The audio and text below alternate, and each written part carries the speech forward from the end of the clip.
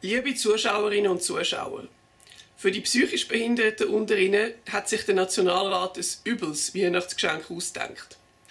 Renten, die bei pathogenetisch-etiologisch unklaren syndromalen Beschwerdebildern ohne nachweisbare organische Grundlage gesprochen wurden, werden innerhalb von drei Jahren nach Inkrafttreten dieser Änderung überprüft, heißt sie der Schlussbestimmung von der IV-Revision 6a.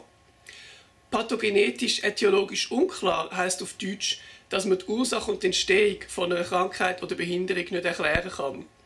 Ja, und das trifft laut einem Gutachten, das Promentesana in Auftrag gegeben hat, unter anderem eben auch auf fast alle psychischen Behinderungen zu. Wenn die IV-Revision also so umgesetzt wird, heißt das, dass 90.000 IV-Rentner in den nächsten Jahren ihre Rente verlieren könnten. Die Bestimmung hat das Parlament recht kurzfristig und ohne sie genau abzuklären noch beschlossen. Es sind auch noch weitere Verschärfungen in die Revision reingenommen worden.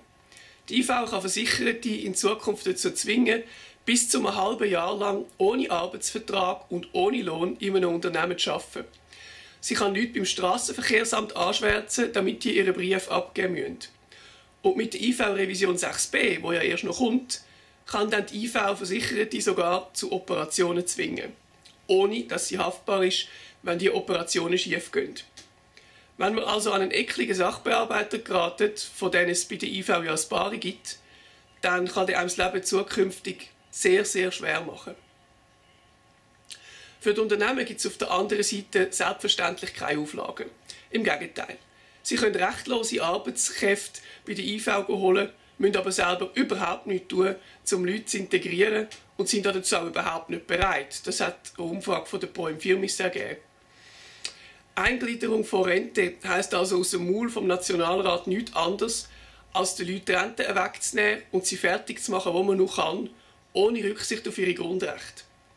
Ja, und wenn unsere Nationalräte mit dieser unglaublichen Vorlage durchkommen, kann man ja nur erahnen, was sie dann bei der Revision 6b noch kurzfristig alles für neue Sauereien reinnehmen werden. Damit ist eine Sache klar. Es braucht ein Referendum. Assistenzbeitrag hin oder her. Darum bitte ich Sie, schreiben Sie den Pro Mentesana, den Pro Firmis, SP, Grüne, Gewerkschaften, FMH, jedem, wo Ihnen einfällt, und machen Sie Druck, dass die ein Referendum ergreifen. Das darf nicht so ins Gesetz hinein. Es kann nicht sein, dass man Behinderte so zum Abschluss freigibt. Vielen Dank.